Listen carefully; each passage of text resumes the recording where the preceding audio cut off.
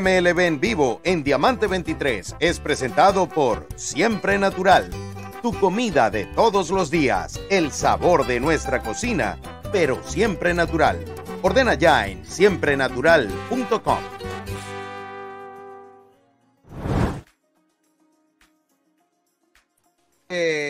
estamos, estamos totalmente en vivo a través de Diamante 23 Oficial.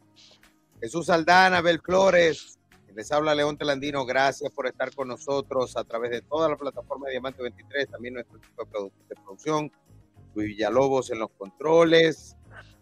Y bueno, y todos, y todos en vivo con una cobertura prácticamente de costa a costa en, esta, en este día inaugural del béisbol de las grandes ligas.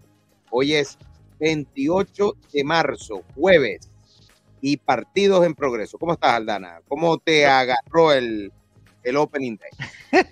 hey, muy bien. De verdad que eh, esta, esta tarde cuando hacíamos el, la, edición del mediodía de MLB en vivo, bueno, y Gilberto y yo eh, estábamos hablando acerca de, bueno, quiénes podían hacer eh, buena actuación. Y Gilberto usaba una frase en particular, te pusiste la bandera.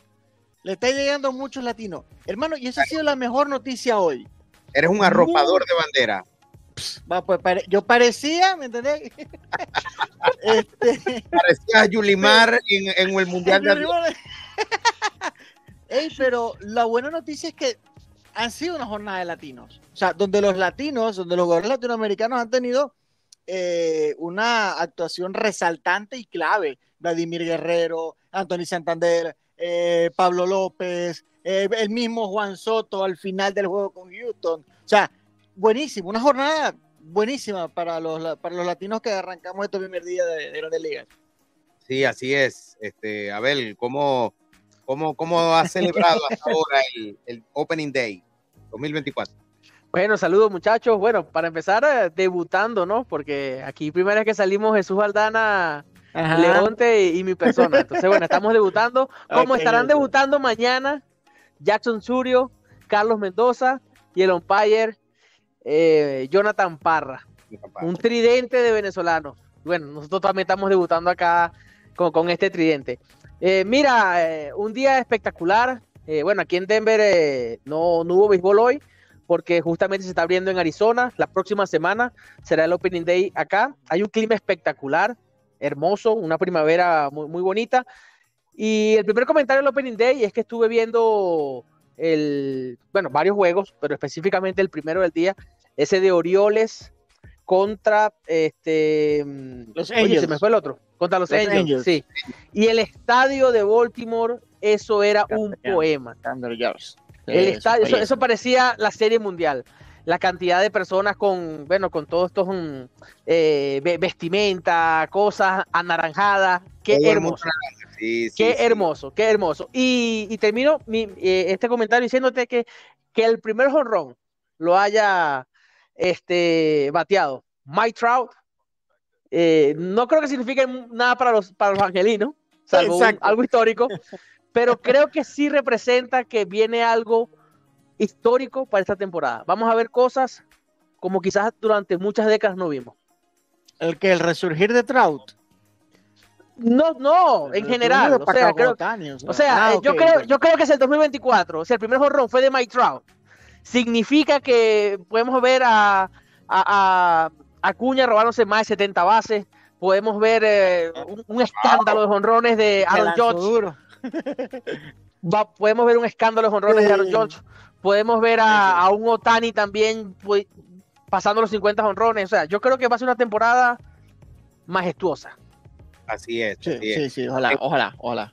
Yo también, yo también estoy contigo. Creo que, creo que va a ser una tremenda temporada. Hay algunas bajas, eh, pero quiero hablar de eso más adelante. Vamos a ver si, si, si, si Luis nos puede colocar en algún momento los resultados, una, una pantalla de cómo van los resultados para poder revisar en tiempo real cómo va la situación y podérselos mostrar a ustedes poco a poco eh, eh, cuál, cuáles son hasta ahora, cómo van los resultados eh, de, de, esta jornada inaugural. Yo quiero comenzar, por ejemplo, con este partido que se acaba de terminar. Los Yankees derrotando cinco carreras por cuatro a los Astros de Houston. Qué juegazo. Juegazo, sí, sí, sí. Juegazo. victoria. empezamos como una postemporada, empezamos. Sí, correcto. Cinco entradas para el, el, abridor cubano Néstor Cortés, que se convirtió en el abridor del Opening Day para los Yankees. Cinco entradas, cuatro eh, carreras, cinco ponches, dos boletos. Sin embargo, la victoria se le cayó al nicaragüense Jonathan Loaiziga, eh, que tenemos que buscar. Yo creo que hacía bastante tiempo que un nicaragüense no ganaba en Opening Day. Tenemos que corroborar ese dato.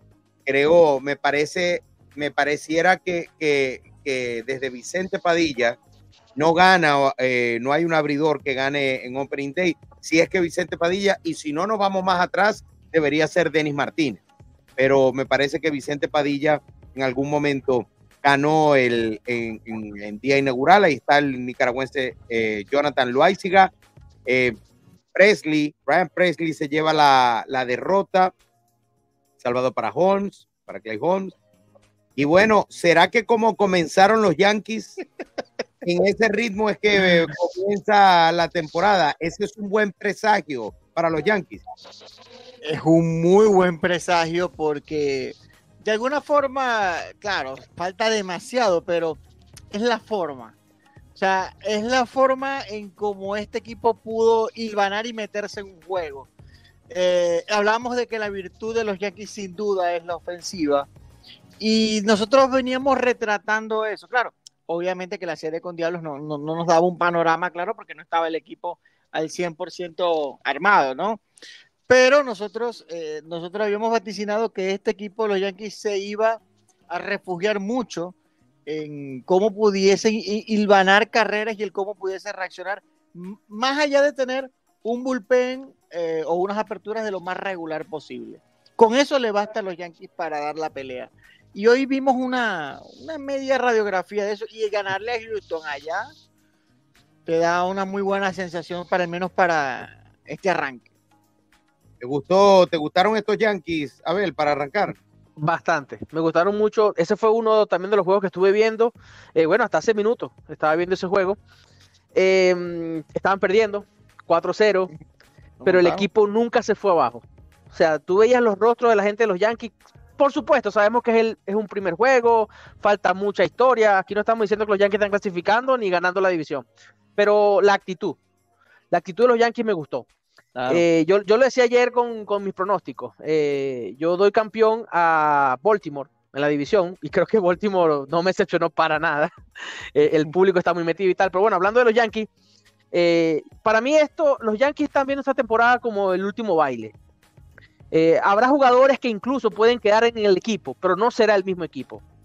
La era de los baby boomers, los baby boomers, no son los, no los bombers. Bomber, bomber, bomber. Ah, baby bomber, porque los baby boomers son sí, sí, sí, sí. La era de los baby bombers termina en 2024. Puede seguir Cashman, puede seguir Aaron Boone, pero esa era termina esta temporada. Esa gente. De ahí se va a quedar al menos Aaron George. Leo. Claro, porque. de ahí se va a quedar al menos. Sí, sí. No sé Leo. sí, sí, sí, sí. Eh, eh, Jason Domínguez a menos de que venga un cambio. No me, no me extraña que haya una locura de esas y suelten a Jason Pero no se pueden ir todos, no se pueden ir todos. Cuando yo digo es, algo semántico, es, el sentido, ¿sabes? Es una era que va a terminar esta temporada. Incluso puede, quedar, puede quedar el manager, en mi caso yo espero que no, porque yo necesito unos Yankees fuertes en las grandes ligas, porque es uno de los fundamentos del show. Eh, pero yo vi muy bien a los Yankees, eh, batean muchísimo, muchísimo.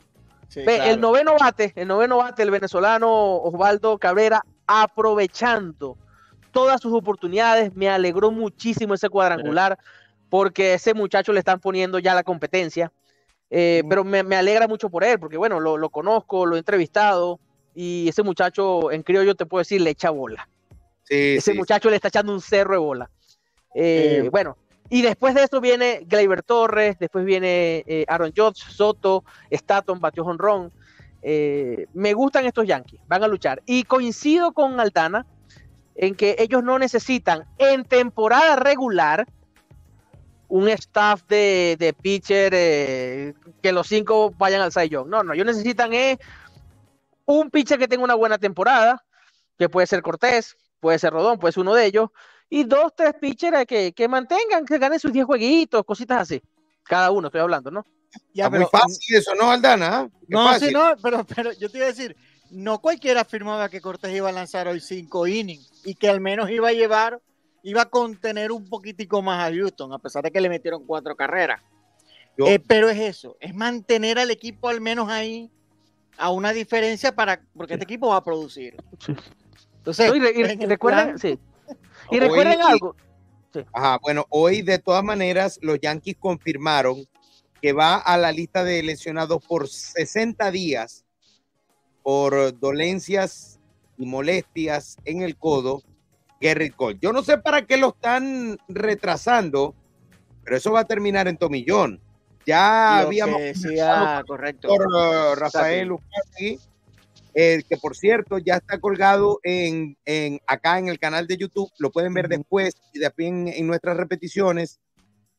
Vamos a ponerlo también para que, para a, a pedirle a nuestro productor Luis Villalobos para que, para que también entre en la rotación de, de, programación en vivo eh, más adelante en el día, en, acá en Diamante 23 Oficial, el episodio 1 de Elite Diamond Wellness, que es un episodio que estamos haciendo semanal con el doctor Rafael Ucategui, una, miren, una, una cátedra de lo que es la operación Tomillón hoy en día en el béisbol, lo que representa para el pelotero, lo que representa para la industria.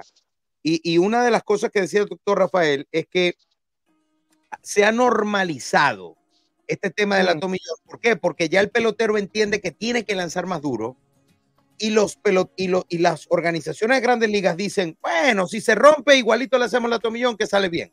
Entonces es como que se rompió ese miedo se ha roto ese miedo por la, por la, por la práctica de la cirugía John. Em, y básicamente los Yankees van a pasar por eso con Gary Cole. Es casi que inevitable. Yo em. creo que no lo, han no lo han hecho esperando a que, bueno, vamos a ver hasta dónde llegue ese brazo. Y si se rompe, que se rompa.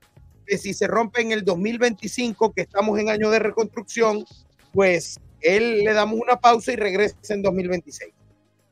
Pero, eh, yo creo que van a necesitar otro lanzador de alguna u otra manera, otro abridor, porque, se porque no contar con, con Gary Cole en los próximos meses va a pesarle a los Yankees. ellos, pueden comprar uno de los lanzadores que mandaron a San Diego por Soto. Bueno, padres vayan a soltar nada ahora. Sí, pero tendrán que, regresen a Juan Soto. Pero ¿Será que, ¿no? ¿Será que regresen a Juan Soto? Yo, mira, yo lo vengo diciendo, los padres están muy bien sin Juan Soto. Sin Juan Soto los padres están muy bien. Ese comentario a veces para, para muchos, ayer que decíamos, no, pero ¿cómo va? Ese comentario está como pesado. No, no, no, no, no, no, no, no, no, no, no. Está pesado si usted lo quiere ver pesado. Los padres están muy bien sin Juan Soto, es una realidad innegable. Ahora, los, Yankees, están mejor con Juan Soto, es mejor, es, verdad.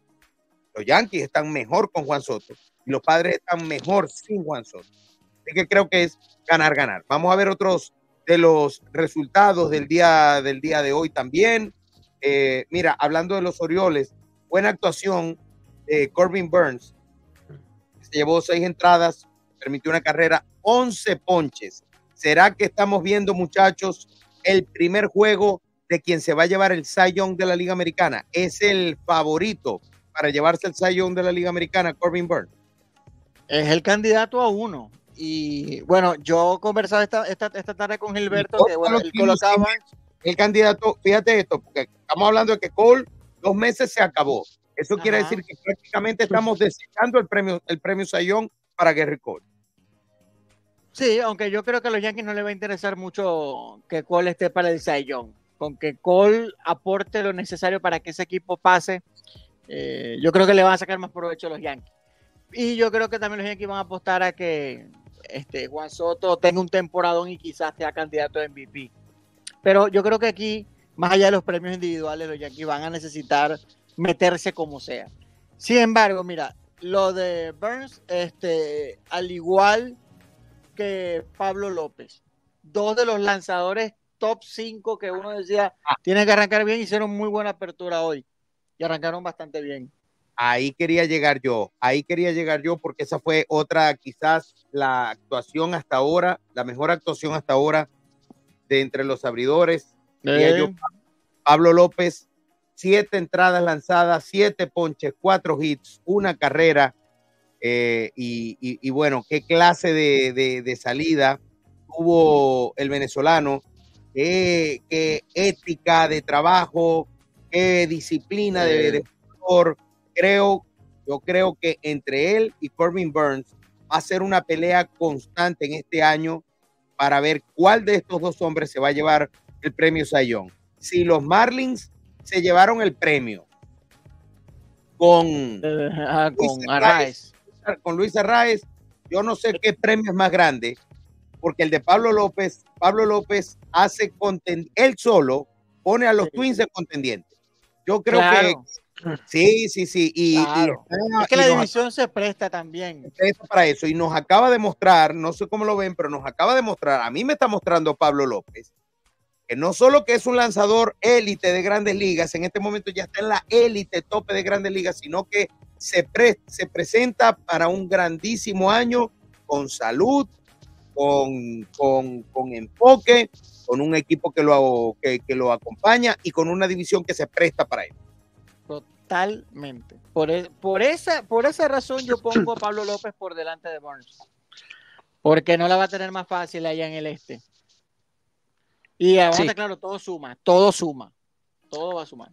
Sí, bueno, primero que todo le recordamos acá a la gente que nos está viendo que le den like, por favor. que le den me gusta ya. En este momento vayan ahí, denle like y este compartan este video. Leo, ¿tú no tienes una copia del santo ahí? ¿Una qué? Una copia de Santo. Viene, hay que tener una copia del Santo, claro. Ah, no la tengo acá, no la tengo acá, la tengo. Hay una copia para que tengan una edición allá del Santo, el Santo ayuda. Está comprobado. Sí, ¿Saben qué, muchachos? Con respecto a, al doctor eh, Pablo López con, con Minnesota, eh, es uno de los candidatos. Eh, por supuesto, estamos hablando, Dios siempre los guarde, con, con la salud, ¿verdad? él va a ser eh, uno de los candidatos a Sayón por la americana. Eh, el gran favorito, bueno, por supuesto que acá, por, ser latino, venezolano, al igual que con Luis Castillo, el dominicano de Seattle, eh, ellos dos por Latinoamérica serían dos candidatos para el Sayón de la americana. Y lo que hace el estadounidense Corbin Burns, hoy lo demostró, ese hombre va a estar ahí, va a estar ahí en la lucha. Esos son los tres lanzadores. Em, Minnesota, bueno, fue incluso con un juego directo de división. Siempre tenemos que, leer, eh, eh, o sea, las series, ¿no? A mí me encanta analizar el béisbol no por juego, sino por serie. Y la serie justamente de los Twins de Minnesota es contra un rival directo. Y ya empezaron ganando el primer juego. Eso es muy importante. Para mí Minnesota, yo sé que no estamos en el día de, de pronóstico, pero Minnesota va, pienso yo, que debe liderar esa división. Para es espectacular, con los dos cerrados. Oye, y arrancó perdiendo mi equipo, que es el Caballo Negro, que yo lo decía ayer, el equipo de, Kansas City. A mí me gusta mucho el equipo de Kansas City. Y está bien, Pablo López. Okay, perder 100 el año pasado. hoy, hoy Pablo López, hoy Pablo López salió como, como que, ah, bueno, que que, yo soy el caballo, que esto, que aquello, Pablo López, ¿ok? Pero permitió jonrón de Michael García, de 4-1, remolcada, la única remolcada ah. fue cuadrangular para el venezolano Michael García, pudo dominar a Bobby Witt, que viene con un tremendo contrato, de cuatro nada Salvador Pérez, pero la, la, la alineación de los Royals me gusta mucho, es más, si tú la pones lado a lado, hombre por hombre, con los Twins me gusta más la, la, alineación de los Royals, pero, pero con Pablo López luce sólido este equipo. Vamos a ver mañana sin Pablo López cómo continúa esta serie y ahí me voy yo con Abel de que el béisbol hay que analizarlo a veces por serie y no por, y no por partido, porque a veces porque un partido, lo, un partido lo puede ganar quien sea. 4 por 1 ganaron los Twins ante los Royals de Kansas City. La victoria para López, Regans, el derrotado Jax, el salvado en los Twins. Vamos a tomar una pequeña pausa eh, con nuestros amigos de Siempre Natural y regresamos con más de esta jornada inaugural del béisbol de las Grandes Ligas 2024 en MLB en vivo a través de Diamante 23 oficial.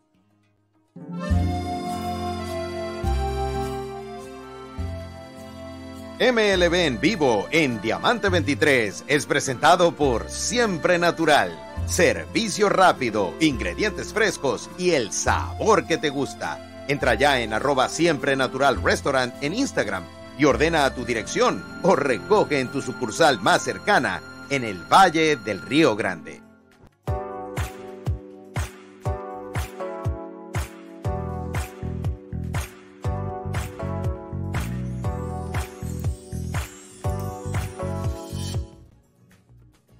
Bueno, estamos en vivo a través de MLB en vivo en Diamante 23 oficial en esta jornada inaugural del béisbol de las grandes ligas. La segunda jornada inaugural, la tercera, porque ya habíamos tenido temporada regular, apertura en Seúl, con una victoria por lado para los Dodgers y para los padres de San Diego. Hoy la jornada prácticamente completa con, e, con excepción de dos partidos que fueron suspendidos por lluvia el de los Mets contra em, los cerveceros y el de los Bravos de Atlanta contra los Phillies de Filadelfia. Están reprogramados para mañana. No sé si van a, esos partidos van a, lograr eh, consolidarse mañana. No me extraña para nada que los Mets vuelvan a, a, cancelar y que haya doble juego el sábado o el domingo, o ese partido se reprograma en otra, en otra ocasión. Pero, pero bueno, eh, el, clima en estos lados del noreste no está nada bien, no está nada bien. Así que eh, está como que en pausa y en ascuas todavía el debut del venezolano Carlos Mendoza como manager de los Mets, el debut del venezolano Jackson Chourio en las grandes ligas, como ya decían, el debut de Jonathan Parra, un nuevo árbitro venezolano en las grandes ligas. Eh, no, no, sé cómo lo ves, Abel, pero pero hay algo que, a mí realmente me gusta y es, y es que y a veces pasa desapercibido, que es el debut de umpires latinos nuevos en grandes ligas. De verdad que, de verdad que es una gran noticia porque, porque primero Venezuela, Venezuela se ha convertido en, el, en la fábrica de árbitros internacionales para grandes ligas. Mientras hay, hay eh, eh, entiendo que ya con, con Parra serían cinco los venezolanos activos dentro del roster de umpires, entre los titulares y los itinerantes, los que suben y bajan, eh, mientras que hay dos dominicanos, un puertorriqueño, eh, un mexicano, o dos mexicanos, si incluimos a Ángel Hernández, eh, bueno, no, perdón, dos cubanos, incluyendo a Ángel Hernández y a Lázaro Díaz, pero, pero es un huequito más, ¿no? Donde los, donde los latinos están haciendo historia y espacio para Venezuela realmente, bueno, el año pasado en Colorado fue un, día récord, se hizo un juego récord cuando tres umpires venezolanos estuvieron formando parte de la, de la cuarteta de umpires, tres eran venezolanos en un mismo juego en Colorado, que eso marcó historia en las grandes ligas. Sí, Leonte, así es. Eh, bueno, primeramente invito a todas las personas que se suscriban a nuestro canal, activen las notificaciones y no se pierdan todo este contenido maravilloso que con mucho cariño estamos haciendo desde las 12 del mediodía hora del este hasta ya 8, 9, 10 de la noche y hasta, hasta más, hasta más, ¿verdad, Leonte? Todo el día, todo el día y tenemos cobertura. Hoy tenemos cobertura en Tampa. Michelle Liendo está eh, cubriendo a los Rays en el día de hoy. Nuestro compañero Héctor Villar también está haciendo cobertura en Chicago, este, en el, eh, en el, bueno, yo todavía le digo Comiskey Park, en el Guaranteed Rate Field, la casa de los White Sox, que por cierto, fíjate que estamos haciendo historia hoy, hoy también es un día histórico con esa cobertura de ese partido. Estamos haciendo eh, una colaboración especial, Diamante 23, con el programa La Jugada Perfecta de, La Habana, Cuba. Por primera vez, por primera vez en la historia, se está haciendo cobertura semi en vivo gracias a la tecnología, prácticamente en, no, no simultáneamente, no totalmente en vivo, pero semi en vivo. Por primera vez se está haciendo cobertura del día inaugural de Grandes Ligas para la televisión nacional cubana. Wow, buenísimo. Qué wow, buena noticia. Muy interesante. Buena noticia. Así es. Así es. Entonces, Diamante 23 estamos, colaborando con ellos para poder llevarles en televisión, en la televisión abierta eh, de, Cuba, a reportes y reportajes de lo que representa el, el, día inaugural del béisbol de las grandes ligas. Buenísimo, buenísimo. De los, parte, de los, cambios, que, que, que, eh, aperturas, pues que, poco a poco van tomando el béisbol eh, sobre todo en Cuba en, los últimos años. Qué buena noticia. Todas las, las eh, los problemas políticos, los, las diferencias políticas que pueden haber entre, entre ambas partes. Pero bueno, se ha permitido dar ese pequeño, ese pequeño huequito para que, para que, porque históricamente las grandes ligas no eran muy difundidas en Cuba. eran muy difundidas en Cuba por distintos factores, por factores políticos, factores este, obviamente del, del eh, económico, económicos, etcétera, Sí, sí, finalmente, se puede abrir esta pequeña eh, oportunidad y bueno, y bien contentos de poder aportar ese granito de arena para llevarles ese contenido interesantísimo de Cuba. ¿Por qué los Medias Blancas? Bueno, porque hay dos de sus mayores exponentes allá, que es Joan Moncada y Luis Robert. Eh, y claro. En ese partido está también el cubano Andy Ibáñez por el equipo de los Tigres de Detroit, por cierto, los Tigres de Detroit, que comenzaron una era sin Miguel Cabrera.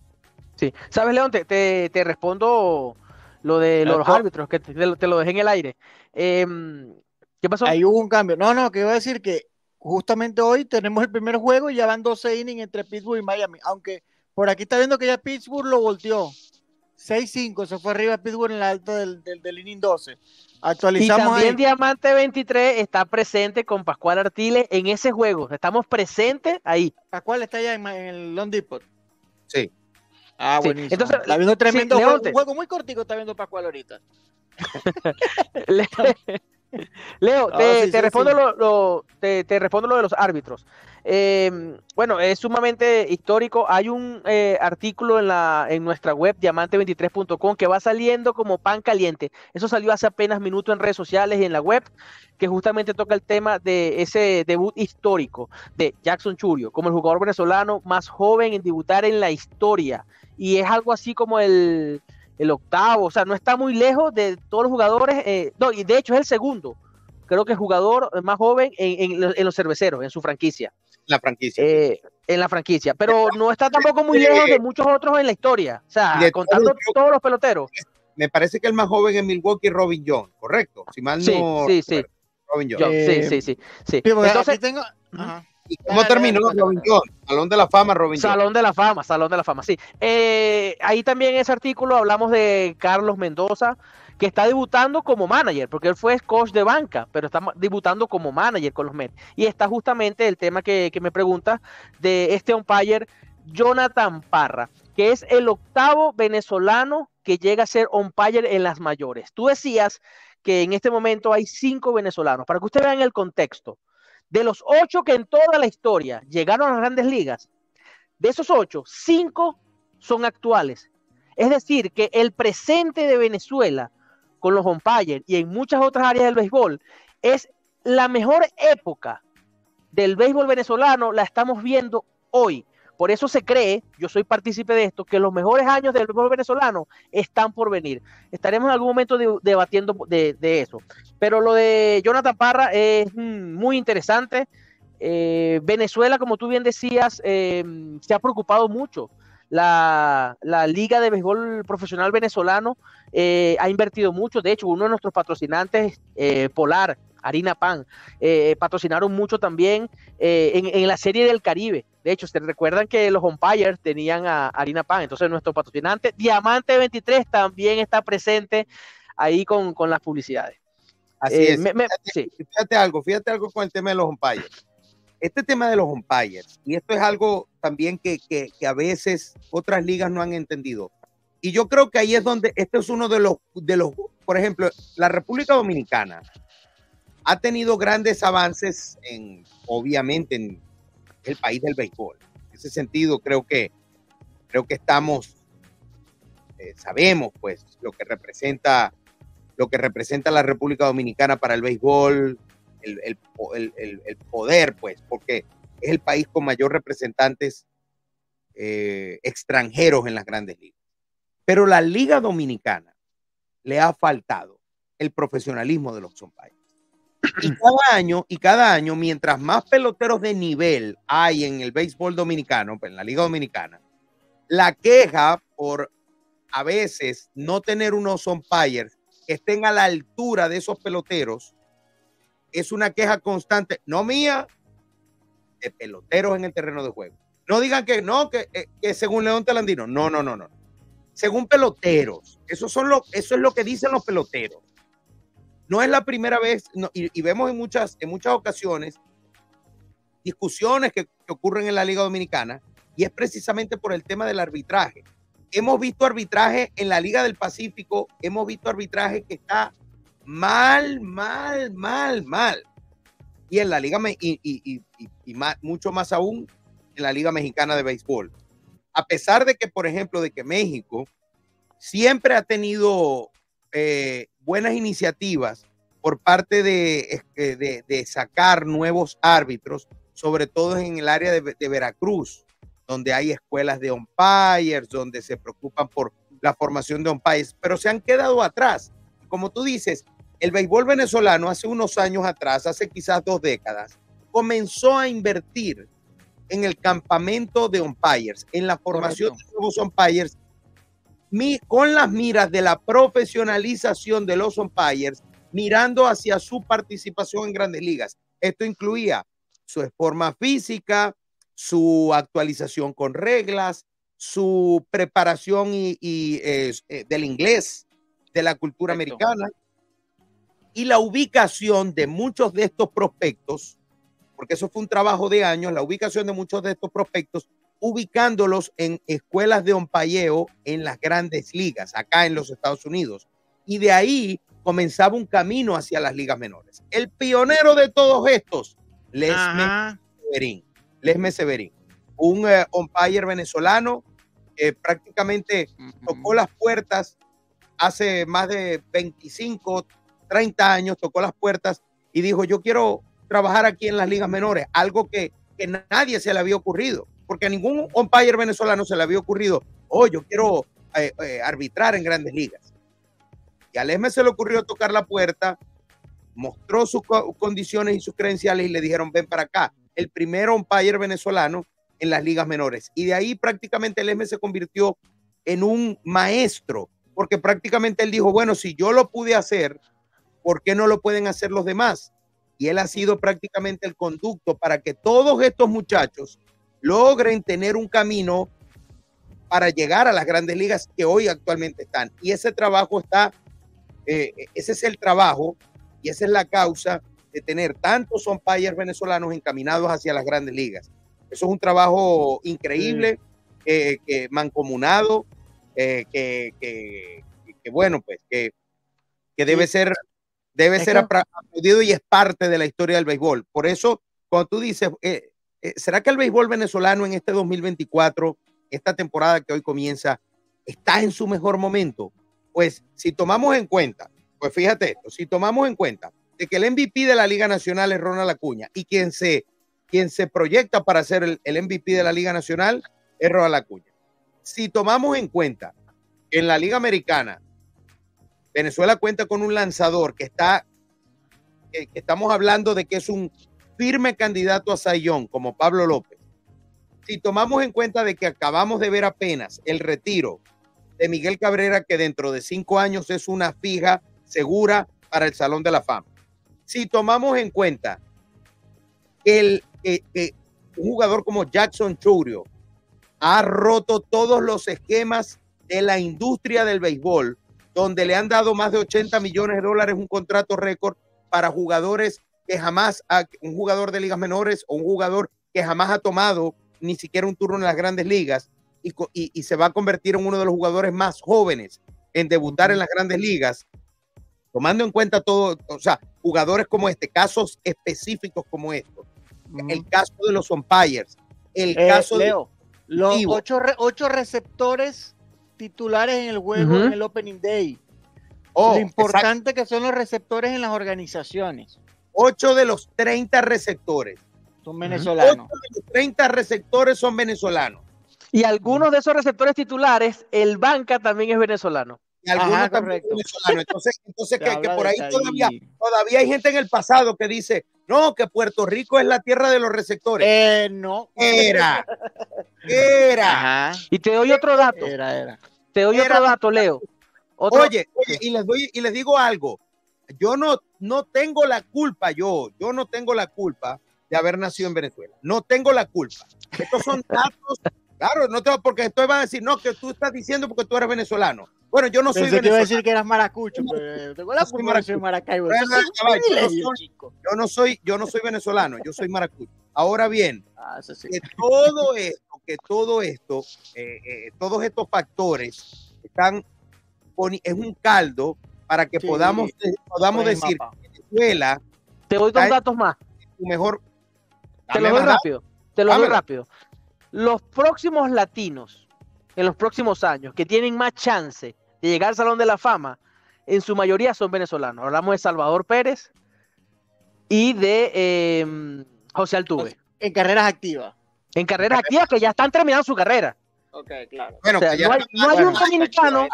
Hay un Exactamente, o sea, los próximos latinos más cercanos a llegar al Salón de la Fama justamente son venezolanos.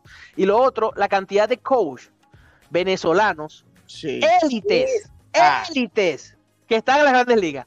Continúa, Leonte. Esa es otra, la cantidad de técnicos venezolanos y no solo coaches en grandes ligas, coaches en ligas menores, managers en ligas menores, ejecutivos altísimos a nivel de grandes ligas.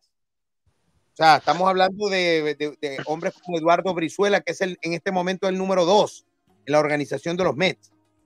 O sea, eh, eh, eh, eh, gente ocupando cargos importantes a nivel de operaciones de béisbol en, en- en todo el, el béisbol de las grandes ligas.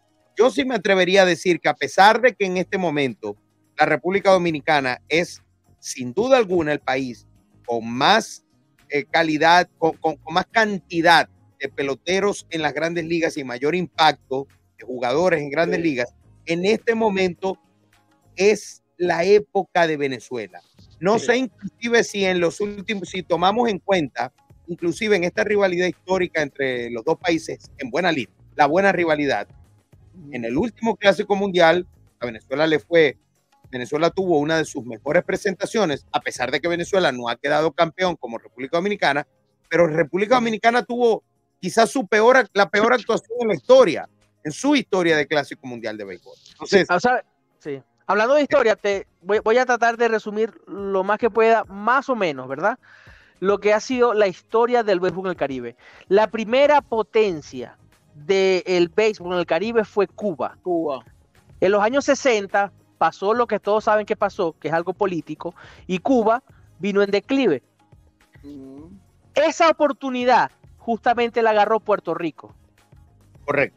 Por eso que tú ves una gran cantidad de jugadores y los primeros salón de la fama de aquel entonces, por ejemplo, sacando a Luis Aparicio, que fue una excepción, son puertorriqueños. Correcto. Pasó el punto de Puerto Rico. Cuba, en esa transición, muchos entrenadores, per- personas de béisbol se fueron a dónde? A a República República Dominicana. Pero en esa oportunidad Puerto Rico agarró el banderín. Es decir, que el segundo país potencia fue Puerto Rico. Mientras se estaba formando Dominicana. Puerto Rico pasó esa generación. Hay ciertas cosas que pasaron ahí por las cuales Puerto Rico no continuó con, con- ese, con esa leyenda. Vino República Dominicana y justamente República Dominicana también ha encontrado la virtud de que por cuestiones geopolíticas en el Caribe han invertido en ahí las escuelas. Muchas escuelas de Venezuela pasaron por un tema político de sanciones, pasearon a, a- a- a Dominicana. Y Dominicana, además del gran talento que tiene esa isla, porque es indudable, además tienen una, una genética, ¿verdad? Porque tienen una mezcla eh, de, de- de- de África, de muchas partes, que crean unos jugadores que son potentes. Y ellos han aprovechado eso muy bien para su estilo de juego. Entonces, estamos entonces que hoy, hoy, la potencia es dominicana. ¿Qué quiero, decir, ¿Qué quiero decir con toda esta historia? Que nunca Venezuela ha tenido eh, el estandarte de ser potencia. Pero estamos en tiempos donde Venezuela, incluso por temas geopolíticos, porque la, la geopolítica y la política juegan todo, nos guste o no, Venezuela hoy está creando las bases para ser la potencia del béisbol. Yo no sé, yo no sé si vamos a superar a Dominicana. Yo no lo sé, eh, pero sí puedo decir que vamos a cerrar mucho la brecha. Correcto. estoy de acuerdo. Ah, o sea, ah, ah, y de hecho, con respecto al tema de los umpire camps, eh, aquí se han desarrollado ya estructuras hasta federativas. O sea, está el umpire camp y hay eh, seccionales por estado donde también se hace formación de umpires. Es importante saber, bueno, que sepan que, a ver, antes los umpires acá en Venezuela, como no tenían, digamos que, eh, oportunidad de ejercer en verano, se iban a la Dominican Summer League.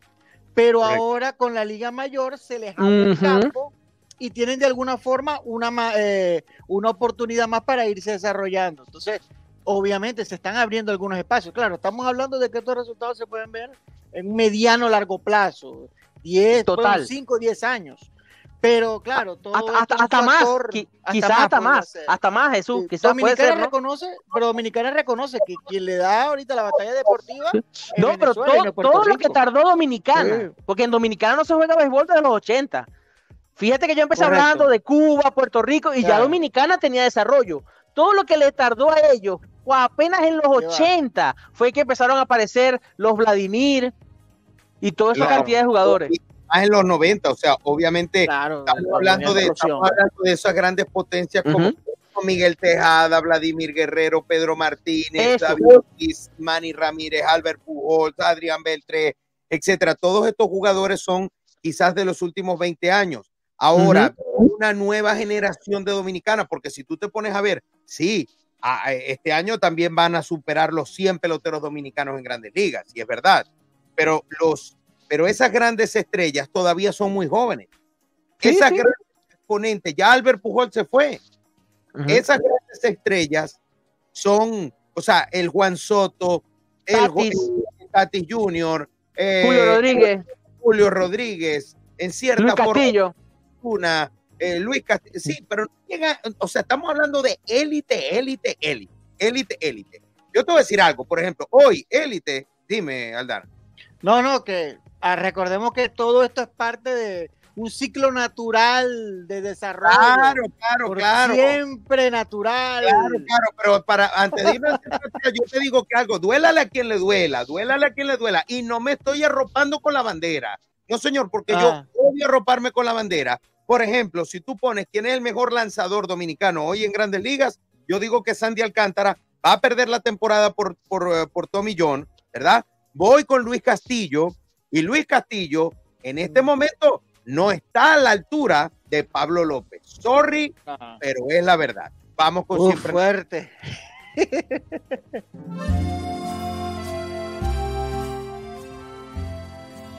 MLB en vivo en Diamante 23 es presentado por Siempre Natural. Servicio rápido, ingredientes frescos y el sabor que te gusta. Entra ya en arroba siempre natural restaurant en Instagram y ordena a tu dirección o recoge en tu sucursal más cercana en el Valle del Río Grande.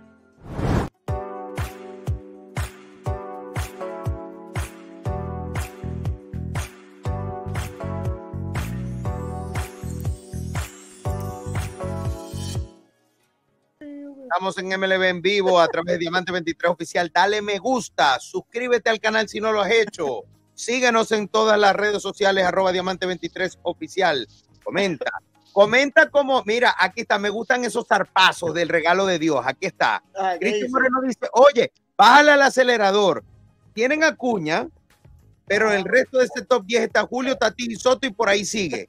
Ya va, ya va, ya va. Es verdad. Es que es cierto es, que la potencia es dominicana. Eso, es cierto. Por ahí sigue. Yo no sé cómo es el por ahí sigue.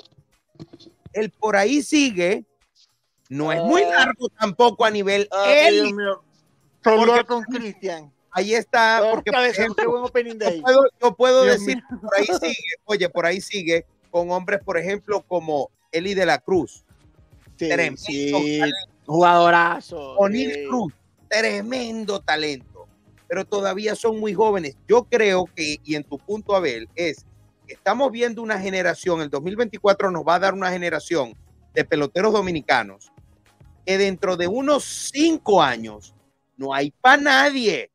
No hay para nadie. Porque, porque cuando, cuando tengan 30 años, hombres como Julio Rodríguez, Tati Junior, Juan Soto, Eli de la Cruz, O'Neill Cruz y por ahí para abajo, ahí sí que no hay para nadie.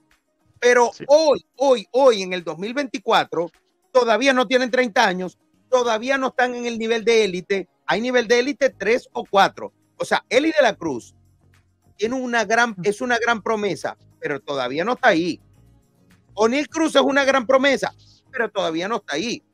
Es como Jackson Churio, es una gran promesa, pero obviamente todavía no está ahí, no ha, no ha tirado ni una bola. Entonces, Claro. yo también di- yo diría que en este momento, esos que están ahí en el 2024, ¿verdad? Van Mientras a- está, mientras está Julio, Tati y Soto, hay hombres como Arraez, hay hombres como Acuña, hay hombres como Salvador Pérez, hay hombres como José Altuve, que sí están ahí todos. Entonces yo creo que, que, que sí estamos en el momento, el 2024, Sí. sí es un, sí es, sí es, eh, es justo decir que es un año para Venezuela. Sí, no, y- déjame decirte que Venezuela. Ajá. Dale, dale, dale, por favor. No, no, es que si uno hace el ejercicio, y no es por menospreciar los talentos, pero tú te ibas a los 90 y quizás cuál era la gran referencia de Venezuela, el gato Andrés Galarraga, y uno que otro jugador, pero ahora es la mayor cantidad o sea, de superestrellas que tiene Venezuela, ha sumado, ha crecido. O sea, se puede ver cómo hay una especie de paso de, transición generacional. Sí, sí, sí. A Por uno ejemplo, yo te entra voy a otro, uno- uno entra otro. uno que me gusta este año. Yo te voy a dar uno que va a matar la liga este año. Mm. El receptor William Contreras. Sí. Ese es un Uf, caballito. Ese es un super caballo, super caballo. Sí. ¿Sabes?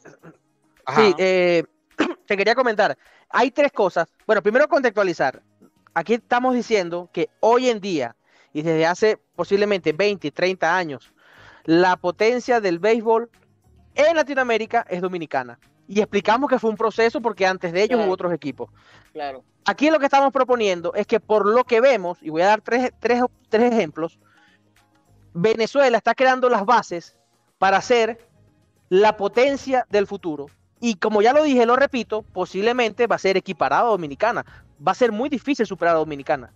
Porque Mm. Dominicana tiene una estructura muy grande. Desarrollo. Pero solamente, solamente ya estar igual es un gran logro para Venezuela que nunca ha sido la potencia, pero tiene todo el potencial. Hay tres cosas que se desarrollan, que Venezuela está haciendo, que mucha gente no ve. Número uno, en Venezuela hay hambre de béisbol. En Venezuela, a final de los 90, vino la época del fútbol. La gente tiene que saber que en Venezuela el deporte más popular en los últimos 20 años fue el fútbol. Aunque el mercadeo, la televisión, Eh, sí, popular, Leonte, sí, popular. El deporte más popular es el popular fútbol. de No, no, no, no. Pero es Y que tú eso- no puedes decir pero- que popular, popular el fútbol, porque hayan do- 10 partidos al año de, de, de, de la No, vino- no, no, no, No, estamos no, hablando no, ni siquiera no, de no. vino tinto. El deporte popular, popular de Venezuela. una popular división tú la venezolana. Eso, tú la es una tú ves un manera. niñito Hermano, en Venezuela del año 2000, escucha, Oye, Leo, Leo. Leo, Leo. En. Venezuela, en Venezuela, en Venezuela, del 2000 hacia hace pocos años, porque justamente es el punto que quiero explicar, que eso ya está Sí, cambiando sí, nuevamente. sí. La gente no jugaba pelotica de goma. En mi infancia, mi juego era la pared, pelotica de goma, eh, el quemado. Eh, dígame, a mí me Juegos encantaba el de. ¿Cómo se llamaba el de, de robarse las bases? Muchacho, y ve. Pisicorre. Pisicorre. Ello era buenísimo, ¿viste? Entonces, del Pisicorre. muchacho buenísimo, eh, nadie me ha ganado, ¿viste? Y en, y en pelotica de goma, él otra vez iba a apostar con, ¿cómo se llama este? El Choresto de los Rockies. Tobar. ¿Con quién? ¿Con Tobar Tobar? con pelotica pa- Cierto, con ese pelotica de gol- goma. Otro nombre, a- otro nombre Sí, considerado. No, pero, ah, pero ataja mucho, ataja mucho. No, no, no, no lleve chance. Extensión para ese. Ajá, No, pero- ajá, ajá, Leo, Ah, para terminar el punto.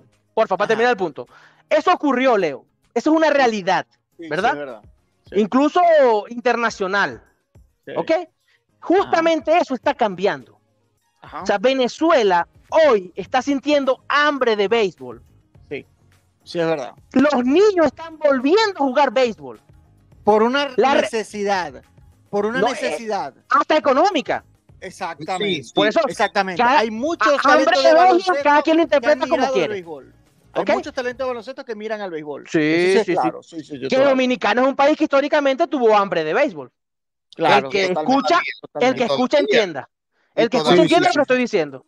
Venezuela está ahí. Sí. Y Número dos. ha popularizado muchísimo el fútbol. E- Ese sí, Sí, mira, hubo un juegazo, hubo un juegazo ahorita contra Paraguay, que estaba ganando Dominicano, un partido amistoso. Bueno, después, este no es el momento para hablar de eso, pero se cayeron a los paraguayos. Los paraguayos estaban picados contra Dominicana. Pero bueno, Los primer- palitallos.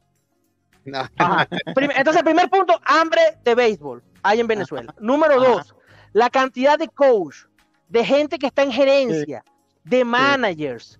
Sí. Dominicana no tiene esos números. No los tiene, mi gente. No hay dominicanos al nivel de la cantidad y calidad. Eso va a tener una repercusión porque ellos son formadores. Al final, los contactos de ellos están en Venezuela, en Maracaibo, Sí. en Caracas, Sí. en Valencia. Las primeras llamadas van a ser ahí. La repercusión que va a tener eso en la cantidad de prospectos va a ser altísima. Vean Sí. eso, proyectense. Y número tres, número tres, que no sé si será importante, para mí sí, la cantidad de venezolanos, o perdón, de estadounidenses con Sí. padres venezolanos va a ser una locura. Sí, eso está Agarren ya lo muchacho.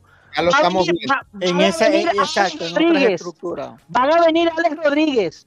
Van a venir Muchachos Alex que quizás ni te hablan español, pero Sí. les gusta la arepa. Ah, ya los tenemos. Jesús Luzardo, es- eh, eh, Jesús Luzardo es uno de ellos. Abraham. Abraham Toro, Abraham Toro es otro de esos, canadiense Eitan. venezolano, canadiense venezolano. Ethan Salas es uno de esos.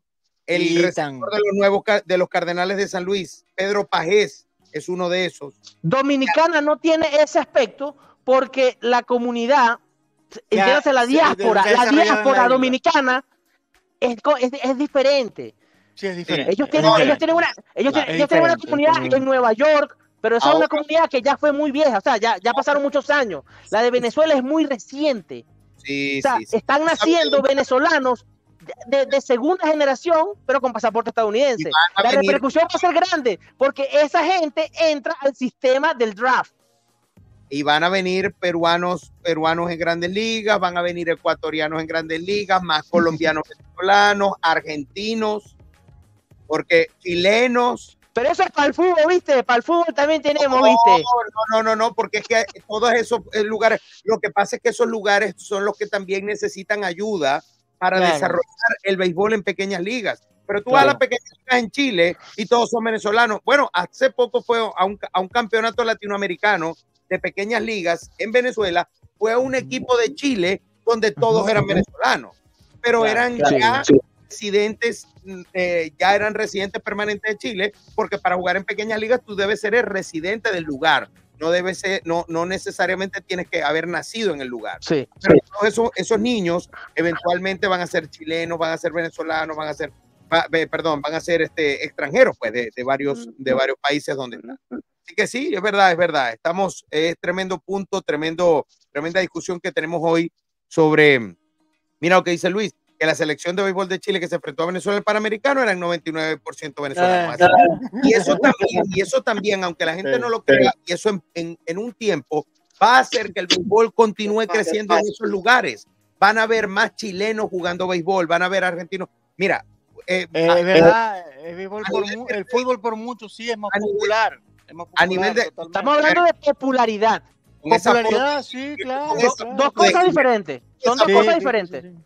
Esa foto de Gilberto tiene como 35 años. Con una te digo, te digo. Ey, ve que, ve que en la universidad, yo lo conocí en los pasillos así. Gilberto en olla. Miren, este, el, y dice Víctor Salón, y los dos estadios nuevos también anima porque la infraestructura le ganamos a Dominicana. Eso también es importante. Ese punto de- de Víctor Salón es muy interesante, porque los tres ejemplos que di, y hay más, el gobierno o quien mande lo ven. No, y lo ven como un método de negocio. Sí lo ven en el Claro, total. Y otra cosa, y, otra cosa que hay que entender, en Venezuela hay recursos. El tema de la Liga Mayor es importante porque mal organizado. La Liga Mayor, a pesar de que la Liga Mayor, a pesar de que la Liga Mayor comenzó como un, como un, comenzó quizás como experimento, un, para, como un disparate. A ver que comenzó como un disparate. La Liga Bolivariana eso era un desastre. Ahora, ahora bien, cuando se cambia un poco la base y se trata de profesionalizar mejor, utilizando los dos estadios nuevos, este, eh, utilizando el talento, porque el negocio de las grandes ligas, como conversaba yo con Trevor Bauer hace un par de días, humildemente, él decía, él decía, él decía, mira, es que el negocio está muy difícil. El negocio está tan difícil para los peloteros veteranos que es muy difícil entrar, pero eso beneficia a los jóvenes. Entonces, ¿qué pasa? Los peloteros venezolanos, sobre todo los venezolanos y, sobre, y muchos extranjeros también, porque la Liga Mayor está llevando extranjeros. Entonces, los peloteros que no tienen cabida están teniendo una nueva plataforma para jugar en verano en Venezuela, en una liga quizás más corta, quizás no tiene el nivel del, del, de la liga invernal, de la Liga Venezolana de Béisbol Profesional, pero bueno, pero está creciendo. Inclusive yo aplaudo la participación, por ejemplo, de Omar Vizquel, quien se ha involucrado como embajador de la liga, con, eh, jugadores como el mismo exjugadores de grandes ligas como Víctor Gárate, que es, que es manager, Luis Ojo también involucrado. E, es decir, o sea, hay distintas personas que han formado parte de la élite de grandes ligas y que están involucrados en la Liga Mayor de Béisbol y todo eso va sumando paso, pasito a pasito, cosas que van aumentando y todo eso forma parte de este gran movimiento que se llama béisbol venezolano, que, en verdad estoy de acuerdo contigo y, muy buena discusión porque, porque creo que el 2024 es el año de Venezuela en el béisbol o es el año para Venezuela en el béisbol. Porque, por ejemplo, si vamos con, por ejemplo, con México y comparamos con México, apenas siete, siete nacidos en México van a jugar en grandes ligas. Es un número muy bajito. El año pasado México llegó a tener más de 20 jugadores, 20 jugadores en grandes ligas. Este año llegan siete. Claro, hay mexicanos americanos, ocho, como usted le quiera decir, están eh, eh, por ahí. Pero para México, para México, realmente cuentan dentro, cuentan dentro del, de, la lista. Es incierto porque unos sí y otros no.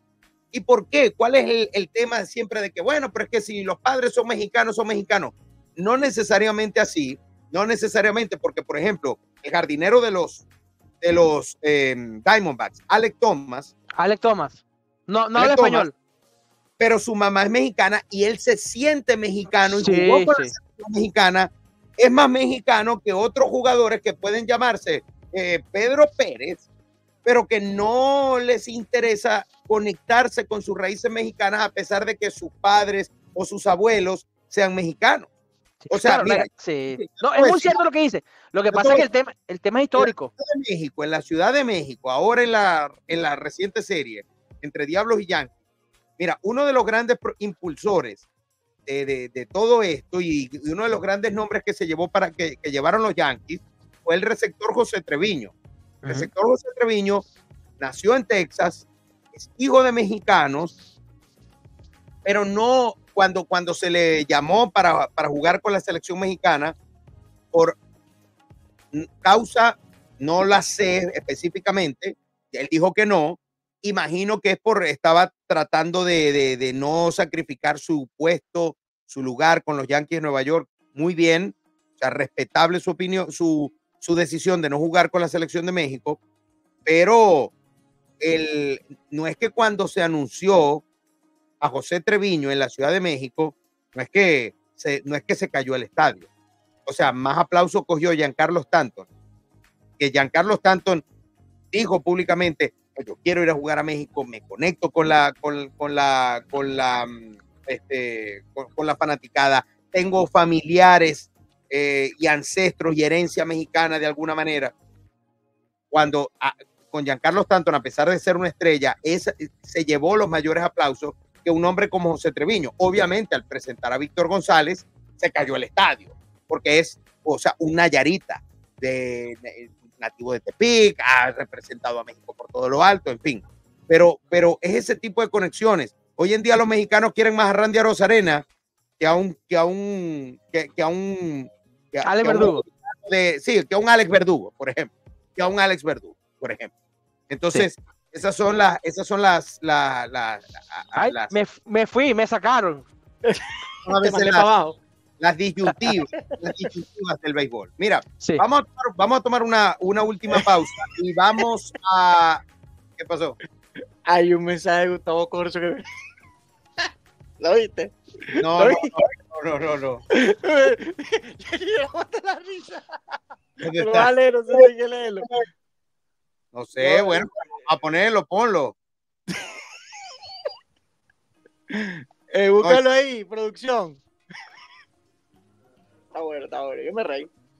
Hoy brinda León. No, ese no es el de más arriba, el de más arriba. Por Creo fin llegaron lo los astros.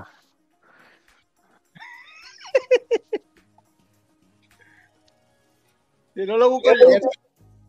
Ah, bueno, ese es el del CIDE. Díaz Méndez dice, desde ayer se los digo, los Yankees ganan la serie pase el año pasado, hubo muchos lesionados. Este año, si todo es normal, por lo menos 5 a 6 de ventaja para el segundo lugar. Pero es que vuelven las lesiones. Otani pegó el parlay hoy. Ey, por cierto, ahora que mencionaron a Otani, ¿vieron lo de Otani con su primer hit? Sí, viste. Otani pegó el parlay. Mira, mira lo, lo de Otani fue muy interesante. Eh, yo vi su primer turno al bate. Eh, batió un Ajá. sablazo contra la pared, eh, una línea. Eh, eh, Mookie Betts estaba en primera. Él batea una tabla como para triple. Y justamente Mookie Betts se queda en tercera. Y Otani pasa segunda. Él no ve al coach de tercera. Y lo saca. Interesante. y lo- Otani Interesante eso. y lo sacan caminando. O sea, Mukibe estaba en la base como diciéndole, ¿qué te pasó? Y Otani llega caminando, lo tocan y se va caminando. Hago el comentario porque está ido el hombre. Está grabado, Eh, no, está grabado, ya va, está grabado. ya va. Y es que ahora nos va a tocar ver. Es que le decía, quédate, quédate. Y el tipo le dio. ¿Qué estaba viendo? Ay, ay, ay, ay, nos ay. va a sí. tocar Eso ver. sí. No, Qué buen tablazo dio. Es más, más alto. Bueno, ese fue. pero eso Es es, interesante porque todo nos va a tocar ver esta versión ofensiva de, de Otani.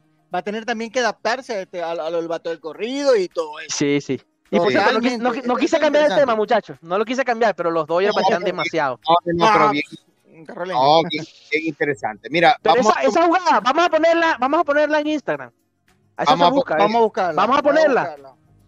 Bueno, vamos a tomar una última pausa y regresamos con los con eh, la última ronda de resultados finales. Estamos en vivo. Hoy es la jornada inaugural de las Grandes Ligas. Dale me gusta, comenta, comparte el video, síguenos en las redes sociales. Estamos en Diamante 23 oficial arrancando una temporada de 162 partidos. Ay, Dios mío. Vamos a la pausa.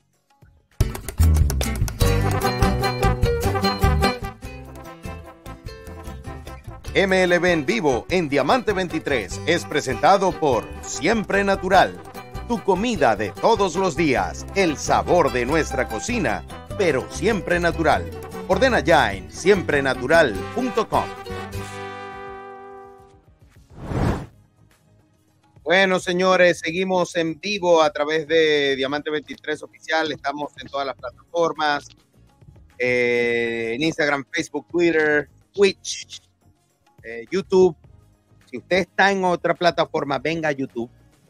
Venga a YouTube porque la experiencia es mejor. Usted puede ponerlo inclusive. Muchísima gente nos ve desde, desde, su, de- desde su teléfono en sus pantallas gigantes. Así que, porque obviamente en la nueva televisión. Por cierto, escríbanos desde donde nos ven también.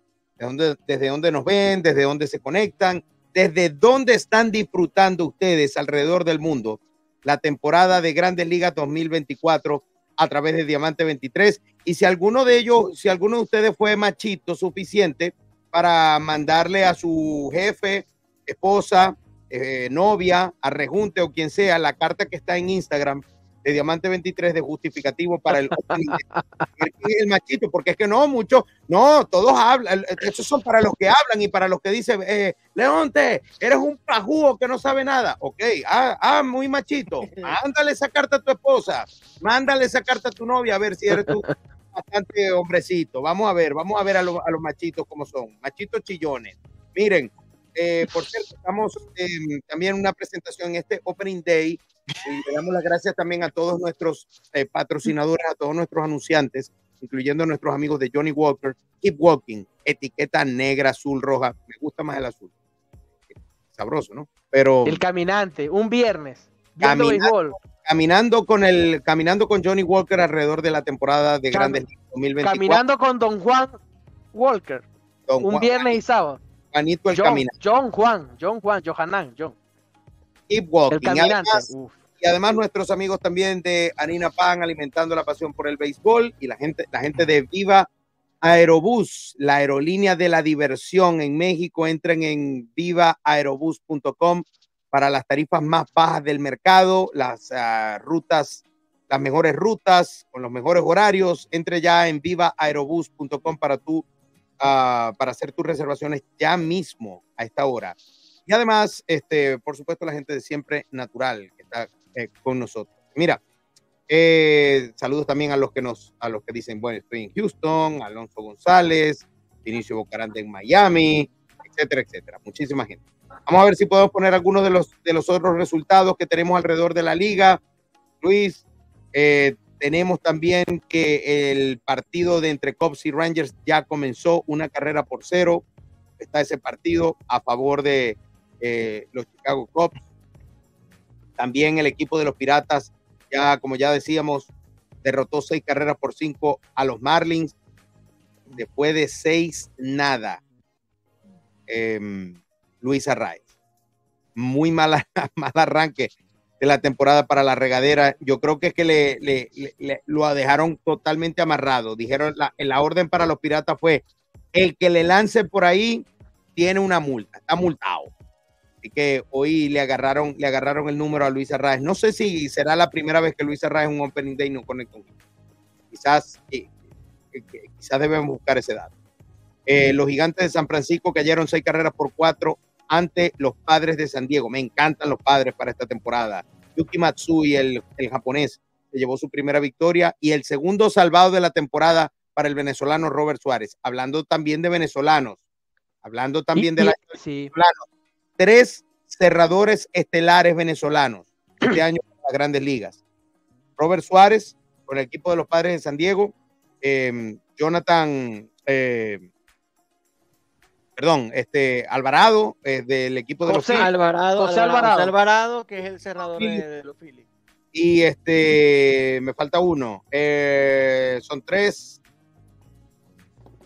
Vamos a buscarlo por acá.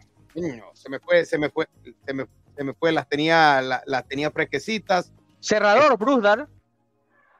Está lesionado, aparte de Bruce Graterol. Oh. Eh, estamos hablando de Alvarado. Se me, se me- oh, se me fue. Me dio el lapsus mental. Sí. em, bueno, tú sabes que un comentario que quería hacer. eh, tres cerradores interesantes. Interesantes tres, tres cerradores venezolanos quien, quienes estarán en plan estelar este año en, las grandes. ¿cómo, cómo se llama el que mencionaste? ¿El, el que mencionaste? El- José Alvarado, Alvarado. No, el de los padres. Robert Suárez. Sí, Robert Suárez. Tú sabes que justamente, interesante, él es de- de- del estado Bolívar, ¿no? Y de Bolívar han venido buenos pitchers. De ahí es Germán. Y este otro pitcher de los Reales de Kansas City, que lo bajan mucho a AAA, pero él, él- él abre juegos también. El Serpa. Eh, este también sería de eh, Bolívar. O sea que el estado Bolívar da, da pitcher, pues. También, bueno, empezando por Lester Straker, el primero que, el primer venezolano que abrió partido de, de Serie Mundial, 1987 con Minnesota.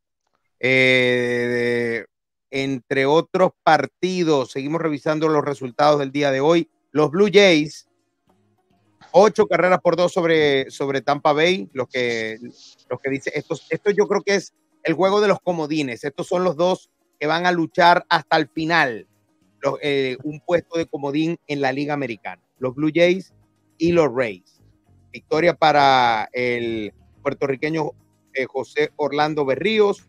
Yandy Díaz, el campeón bate de la Liga Americana el año pasado, arrancó caliente de 4-3, cuadrangular, dos remolcadas. Eh, ya decíamos el equipo de los padres, seis carreras por cuatro sobre los gigantes.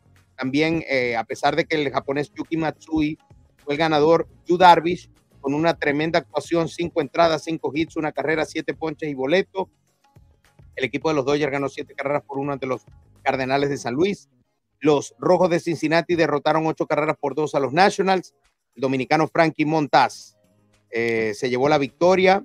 Seis entradas, cuatro hits, cuatro ponches. Tremenda la actuación para, para Frankie Montaz, eh, quien, quien eh, se quedó con el puesto número uno como as de la rotación del equipo de, Cincinnati. Muy bien por, bien por él. Entre los 13, uno de los 12, perdón, perdón, 11 abridores latinos en el día de hoy. Eh, y más adelante el equipo de Oakland eh, recibiendo a los Guardianes de Cleveland. Más adelante también los Marineros de Seattle recibirán a los Medias Rojas de Boston. Más adelante también los Diamondbacks de Arizona recibiendo a los Rockies de Colorado. Como ya decíamos, Milwaukee y los Mets suspendidos por lluvia. Bravos y Phillies suspendidos por lluvia, esperando últimas noticias de estos para mañana, día de mañana. ¿Qué tal? ¿Les gustó la, les ha gustado la, jornada inaugural de Grandes Ligas 2024, ¿sí o no? Muy buena, muy buena. Sí, sí, muy sí, buena, sí. muy buena, muy buena. Lo que esperamos. Mucho, mucha presencia latina. Yandy Díaz también conectó cuadrangular con, con Tampa. O sea, mucha presencia no, latina. Sí. No, y no hubo, tampoco hubo una gran decepción. O sea, no hubo así juegos que, que tú hayas dicho, por ejemplo, los que yo llegué a ver. Eh, Yankee Houston estuvo muy bueno. Mañana vamos a tener un juegazo que posiblemente puede Eh, ser una de las finales de la, de, la, de la, Liga Americana. Filadelfia Bravo, eso es juego. Además que hay dos, dos pelote, dos lanzadores que van a estar por el Cy Young. Sí, claro. Vamos a tener ahí a, los dos mejores lanzadores. A Strider y a Zach Wheeler. Aunque yo tengo es, un gallo tapado, yo tengo un gallo tapado, el estadounidense Zach Gallen, que en cuestión de minutos va a estar abriendo en Arizona.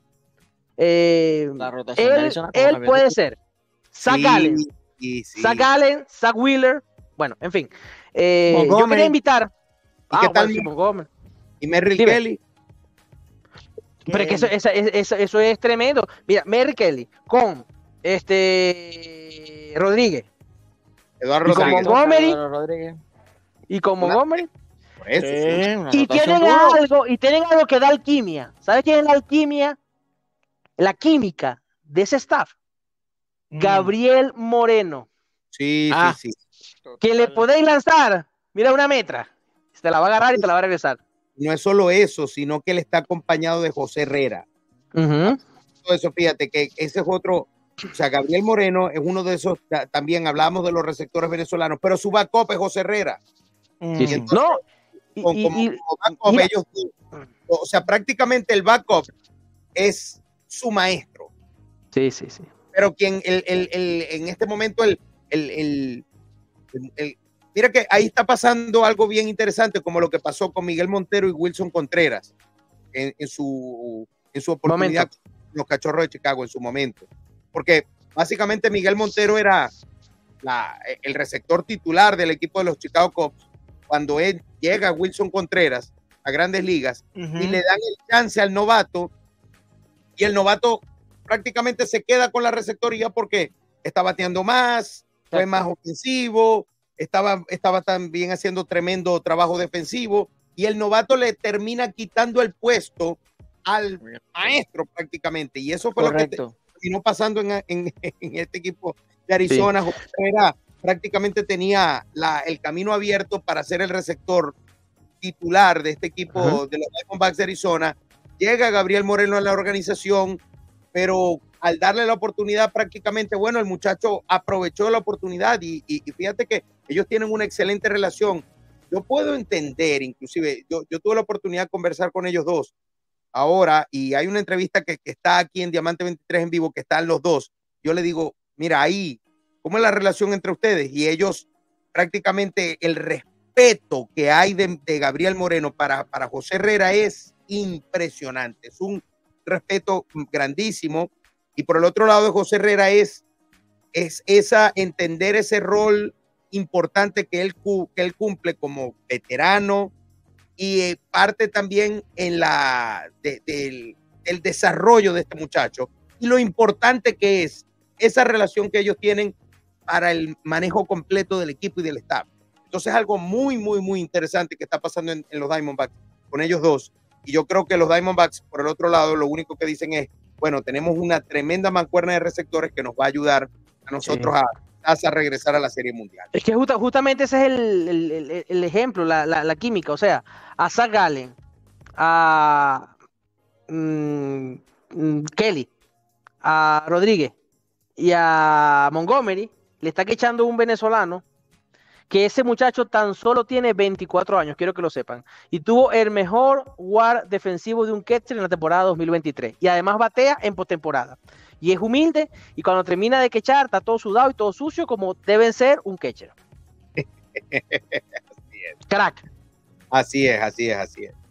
Bueno, señores, vamos, eh, ahí están los Cops por encima de los Texas Rangers una carrera por cero en la parte baja del tercer inning. Estos son algunos de los resultados en vivo que estamos chequeando en este momento, en esta jornada inaugural de Grandes Ligas. A ver, antes de despedirnos, ¿alguna memoria que tengan ustedes del día inaugural? Algo que recuerden, algo que ustedes digan, wow, me acuerdo del día inaugural, cuando tal, tal, tal, tal, tal, tal. ¿Alguna memoria especial ustedes que, tengan, que tengan cada uno de, de lo que representa el día inaugural de Grandes Ligas? Bueno, yo, yo tengo una, justamente creo que fue en el 2020, puede haber sido 2019.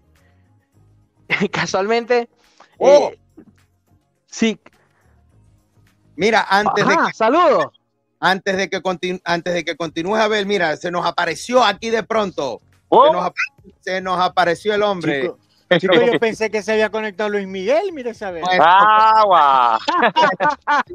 Bienvenido, compañero Héctor Villar de la jugada perfecta, corresponsal de la televisión cubana en vivo. Pero, pero puedo cantar un poquitico así como de Luis Miguel, igual. Te puedo, te puedo, llenar unos minutos así. La viquina. No, chico, no, ya. Oh, usted es la culpable de todas mis angustias. Héctor Villar con nosotros desde la ciudad de los vientos. Acaba de terminar el partido entre los Media Blancas de Chicago y los Tigres de Detroit. Y los Tigres de Detroit. Héctor, antes eh, que estábamos conversando, estábamos conversando en este momento en este partido donde Detroit derrotó una carrera por cero a los Media Blancas de Chicago. Cuéntanos cómo fue la experiencia en el día de hoy, cómo estás. Muy bien, un abrazo bien fuerte a todos nuestros compañeros, en especial a ti, León Telandino, y a este Diamante 23, que es una verdadera jugada perfecta. Amantes de lo que a usted le gusta y a nosotros nos encanta. La pelota, el Opening Day por acá, mucho frío, una temperatura aproximada de 5 grados eh, y sobre todo eh, se sentía de 2, de 1 pero, pero mucho calor, mucho calor en cuanto a béisbol se refiere. Una muy buena asistencia por encima de los 30 mil aficionados. Muy buena asistencia para hacer un encuentro a las 3 y 10 de la tarde, hora de Chicago. Y realmente un muy buen encuentro que se fue muy rápido. Dos horas, diez minutos solamente necesitaron estos dos conjuntos. Casi dura lo que un encuentro de fútbol. Se fue así.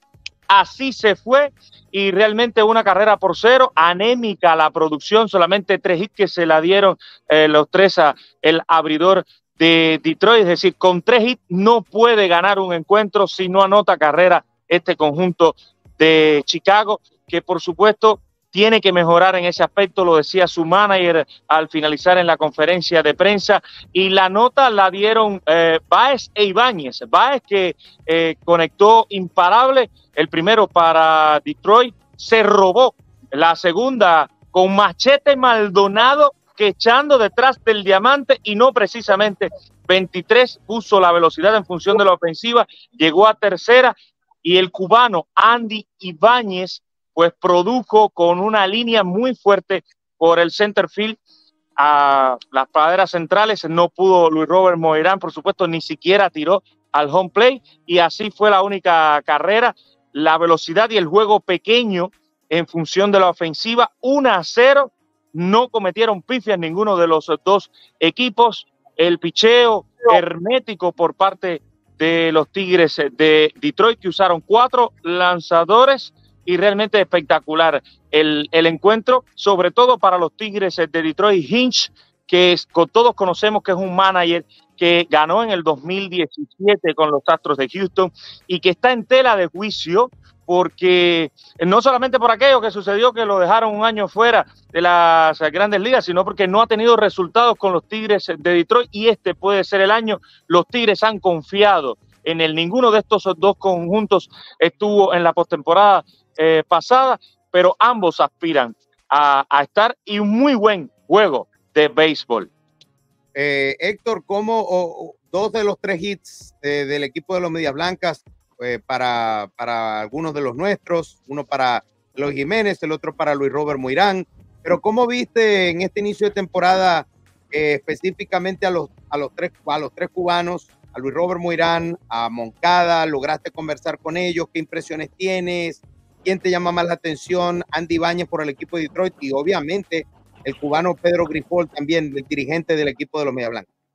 Sí, exactamente. Un hombre que nació en la Florida, en, Miami, eh, y estos eh, tres cubanos que sí nacieron en, en, la isla y que jugaron el Clásico Mundial de Béisbol, algo histórico, tres de los que están activos junto con Yadier Rodríguez, el lanzador que se sumó a los Blue Jays y que no tuvo actividad en el día de hoy. Estos tres cubanos sí tuvieron actividad, ya que me preguntas de eh, el primer hit del juego, fue el de Luis Robert Moirán, fue un infi hit por segunda base, guarda todo el mundo muy rápido y no le pegó muy bien a la bola hoy, hay que decirlo así.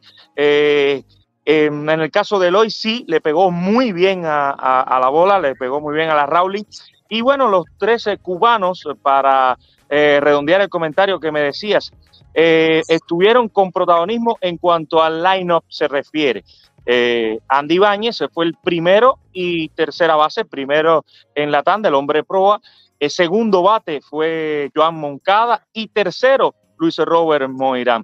Joan Moncada no estuvo bien, no, no conectó imparables y se ponchó a la hora buena, concedió ya el penúltimo del juego, también se ponchó en el último lado del juego Luis Robert Moirán, que por lo menos hizo una de las tres rayitas de este equipo de Chicago, que parece, eh, si, juega así, si sigue así, no tiene mucha profundidad ofensiva. Tiene que mejorar en esto.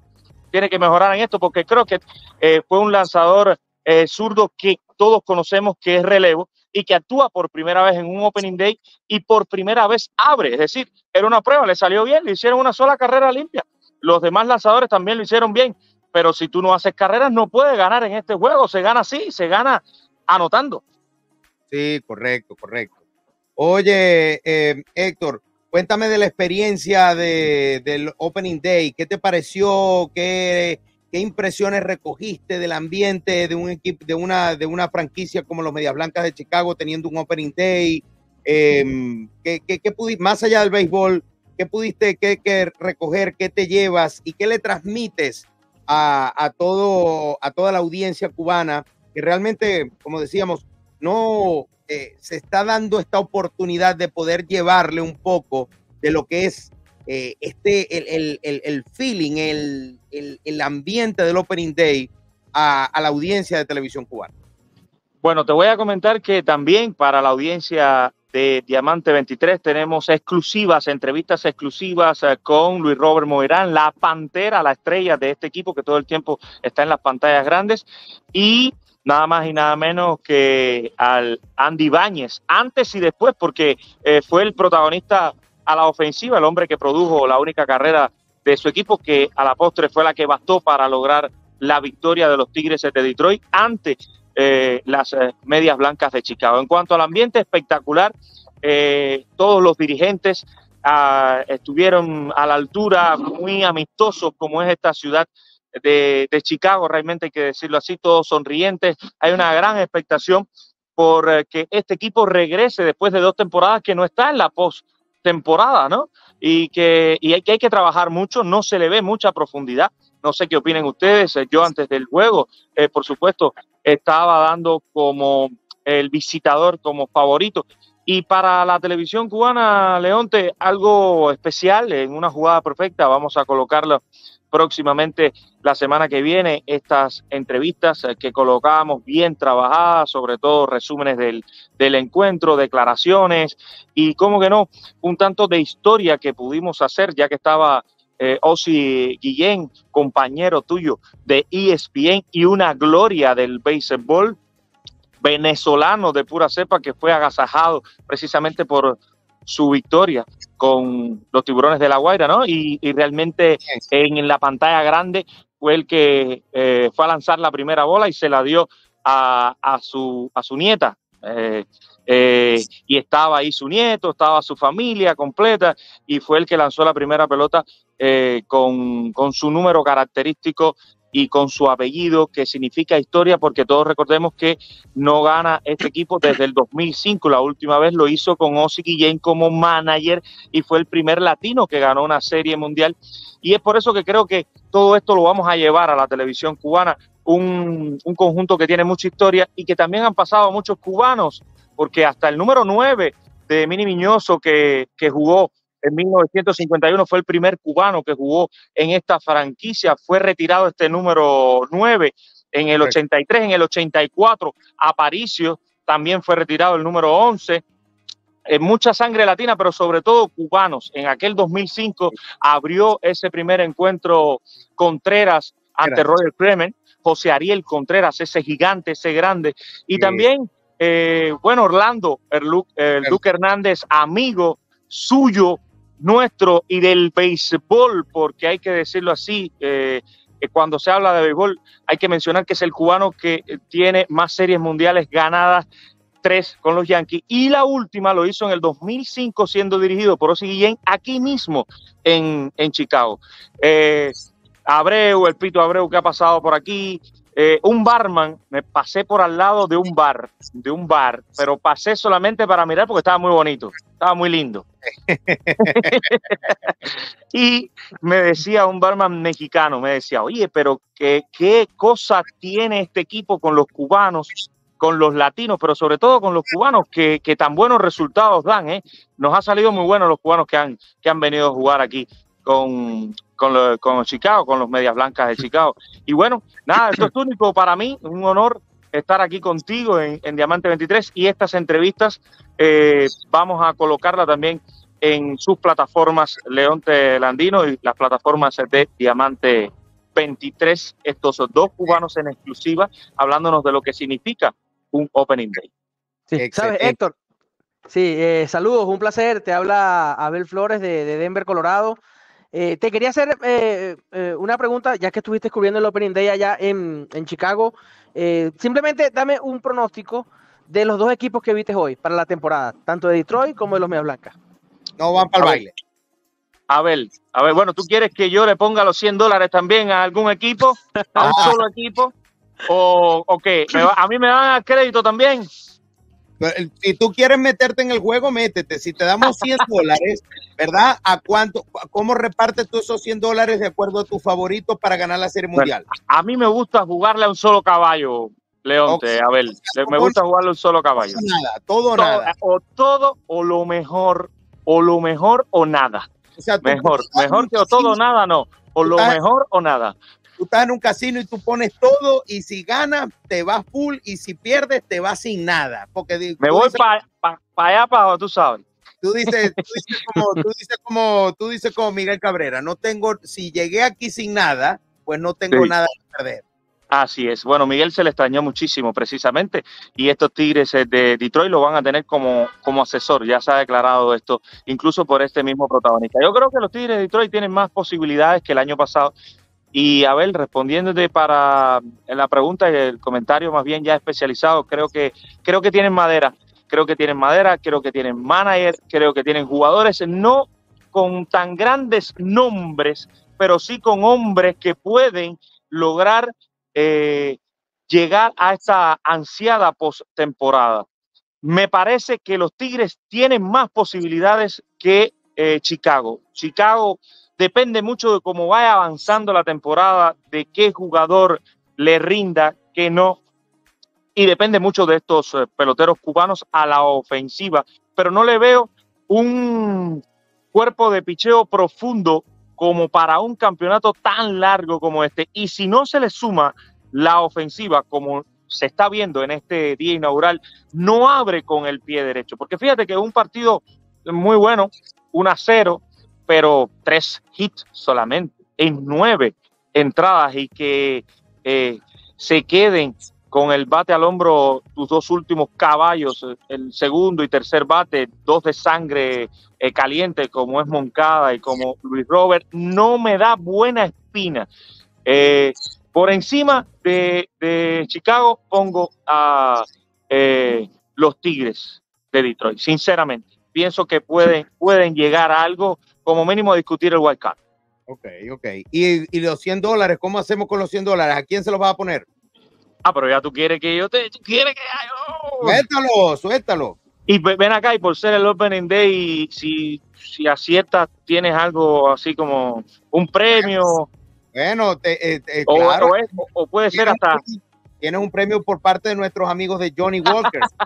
Eh, ahí, está, pues, ahí está, pues. El, premio lo ponen nuestros nuestros amigos de Johnny Walker para que tú salgas caminando. Oh, y yo que soy un, y yo que soy un caminante de la vida, de, este mundo deportivo. Sí, sí, también, lo que pasa es que yo soy un caminante azul. Azul. oh, como este la gorra, como la gorra, como la gorra. Ajá, ¿cuál es tu, a, quién le vas a apostar esos 100? Yo soy, mira, un caminante, mira, de etiqueta negra. Johnny Walker, de etiqueta negra. Tú no tienes, tú no tienes intérprete, ¿no? Tú no tienes un intérprete al lado que vaya a apostar por ti. Un buen blended. No, no tengo ese paraguas. Ah, ok. Oye. Yo me mojo. Si llueve, me mojo. Mójate, pues. ¿Quién es el campeón Definitivamente. de los... Eh, a ver, eh, yo creo que es muy pronto para, para esto. Es precisamente las grandes ligas y este béisbol, ustedes lo saben mejor que, que yo. Este béisbol es impredecible y sobre todo en un opening day. Eh, con tantos juegos por delante, con tantas emociones, con tantas vivencias, con tantas lesiones, con tantas sonrisas, con tantas, eh, tantas victorias y a la vez tantas derrotas. Eh, mira, yo creo que este es el año de los Yankees de Nueva York. Vamos para allá. Y le apuesto los 100 a los Yankees. Wow, muy bien, muy bueno, abrió los Yankees con el pie derecho, perdían 4 a 0 y terminaron ganando 5 a 4. Está bien. Wow, muy bien. Se moja Héctor Villar, 100 dólares para los Yankees. Bueno.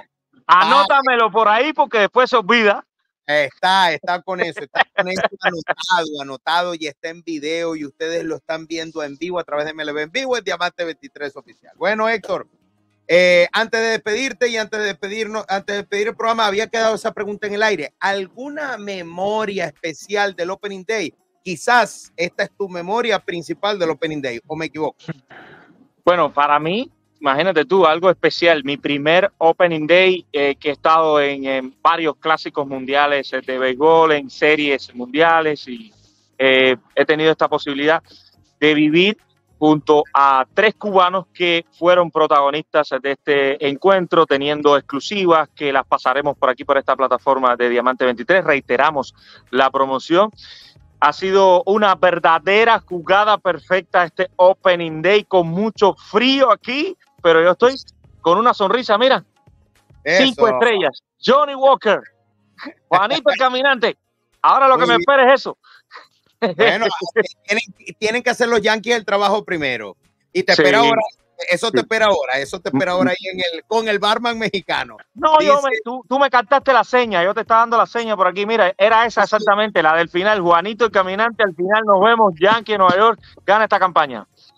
Y dice, decía nuestro compañero Cristian Moreno, eh, el regalo de Dios, decía Big Mac, Grand Slam en el 98, un Opening Day, y Ken Griffey Jr. con Ron, regresando a los marineros de Sierra en el 2009. Tremendas memorias. Abel, para ti. Bueno, yo tuve una. Justamente yo estaba cubriendo ese Opening Day, eso no recuerdo si fue 2019 o 20, creo que fue el 2020, eh, o ese fue el año de la pandemia. 2020, el año de la pandemia. Entonces fue 2019, entonces fue 2019. 2019 yo estuve en el Opening Day en el Coors Field, eh, me parece que fue Dodgers contra Rockies en el Coors Field, y por alguna razón, cuando va a empezar el juego, yo, yo quedo en el terreno. O sea, cuando va a empezar el juego, no, cuando se van a cantar los himnos y todo eso, yo quedo en el terreno. Eh, y bueno, para mí eso fue, además de que era como que creo que el segundo año, algo así, que, que cubría grandes ligas. Y yo me acuerdo que yo quedé casi que, sea, atrás de la goma, pero atrás al final con los fotógrafos. Y cantaron el himno y lanzaron la bola. Y yo ahí, yo al final salí. O sea, no sé, eso fue un opening de yo quedé loco. O sea, yo no sé cómo quedé yo ahí. Cantaste. Eh, pero fue increíble, pues. Fuiste parte de, estuviste en el terreno para, la, para cantar el himno y la ceremonia. Ajá, exactamente. Y me acuerdo que pasaron aviones y todo. Y yo, yo no sé, hasta el día de hoy, yo no puedo explicar cómo yo quedé en el terreno. O sea, debe ser que no salí en el momento, haciendo una entrevista. Ese día lanzó Walker Bueller, por cierto. Fue la primera vez que vi lanzar a Walker Bueller. Eso fue un opening day y bueno, hoy, más nunca lo pude hacer. Lo quiero hacer y ya no puedo, me sacan. Momentos especiales. ¿Y usted, Landino? ¿Y usted? No, mira, yo me quedo cuando hablo de Opening Day. Mira, yo recuerdo uno con mucho, con mucho cariño que fue casualmente en Miami en el año 2015. No, perdón, 2012. 2012, cuando los Marlins inauguraron el Marlins Park. Cuando la inauguración del estadio Marlins Park, del nuevo estadio, las expectativas eran grandísimas porque estaba Ozzy Guillén de manager como manager del equipo de los, de los, de los Marlins antes de que ocurriera todo el, el, el revolú, el bululú con Ozzy. Pero ese día inaugural, las expectativas que se tenían por los Marlins era que los Marlins iban a ser campeones de la Serie Mundial. Con Ozzy, con un gran equipo, un estadio nuevo, el equipo había cambiado la, indumentaria. Eh, eh, en, en, verdad que, era todo, fue toda una grandísima emoción Marlins perdieron ese partido ante los Cardenales de San Luis, pero, pero el ambiente que se vivió de emoción fue, fue realmente único en la historia de ese equipo y yo creo que ese fue el mejor día en la historia de ese equipo porque después de ahí, nada de nada, eso no sirve. Entonces, este, y luego pues de ahí, bueno, vino el tema de Ozzy, se fue Ozzy, se desmoronaron los Marlins y, y bueno, ya la historia este, está, está más que contada, pero, pero cómo comenzó esa historia de ese Marlin Park, que es una, una joya arquitectónica, eh, eh, eh, fue, fue algo muy bonito y yo estuve presente prácticamente desde varios días antes de, la inauguración y, pude, pude ver todos los trascámaras y todos los pormenores de, lo que fue la inauguración de un estadio de grandes ligas. Ese, ese me lo llevo yo, ese me lo llevo. Bueno, Héctor, Gracias, este, disfruta todo este fin de semana en Chicago. Eh, espero que, que, obviamente estamos, seguimos conectados. Este, nosotros también los esperamos mañana aquí a la misma hora a través de Diamante 23 en todas nuestras plataformas. Esto es MLB en vivo. Abel Flores, Jesús Aldana, Héctor Villar. Nos despedimos, Héctor, porque hay hambre y sed. Chao, chao. Un abrazo, abrazo. MLB en vivo en Diamante 23 es presentado por Siempre Natural. Servicio rápido, ingredientes frescos y el sabor que te gusta. Entra ya en arroba Siempre Natural Restaurant en Instagram y ordena a tu dirección o recoge en tu sucursal más cercana en el Valle del Río Grande.